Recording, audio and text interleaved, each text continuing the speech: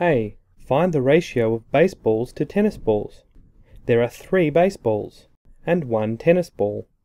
The ratio of baseballs to tennis balls is 3 to 1. B. Find the ratio of tennis balls to baseballs. The ratio is expressed in reverse order. So the ratio of tennis balls to baseballs is 1 to 3. Find the ratio of blue balloons to yellow balloons.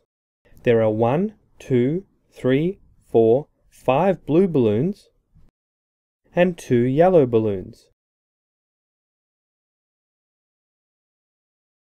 The ratio of blue balloons to yellow balloons is 5 to 2.